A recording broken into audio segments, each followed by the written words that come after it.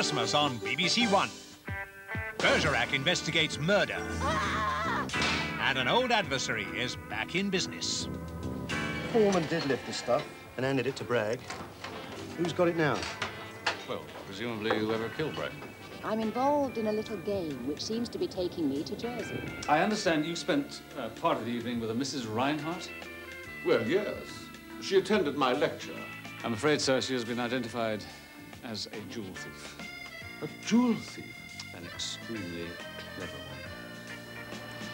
A special feature-length Bergerac. Boxing Day at 8.15 on BBC One.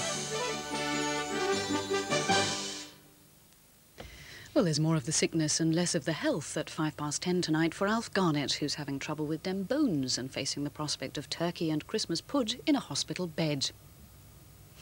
But now on BBC One, Christmas or no, Miss Marple's ever on the lookout as we follow the scent of the perpetrators of a dastardly crime on board the 450 from Paddington.